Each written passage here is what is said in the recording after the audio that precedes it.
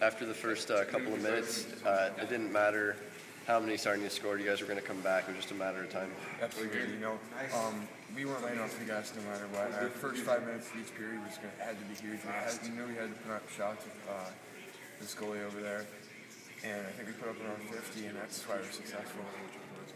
What was the talking between the second and third? You guys came out flying. Yeah, absolutely. Yeah. Uh, everyone was going. You know, no one was down. You know, we were getting.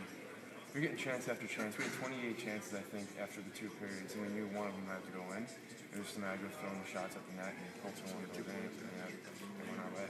How do you not get frustrated when it seems like the other goalie is stopping everything you throw at him?